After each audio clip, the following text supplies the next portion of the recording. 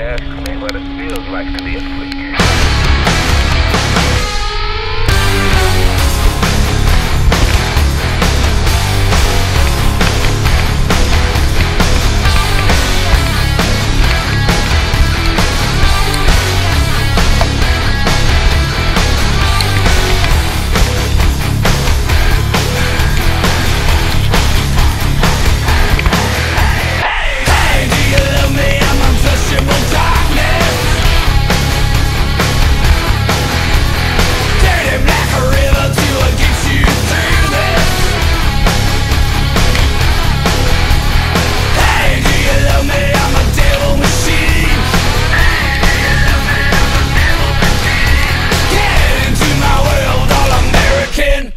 team!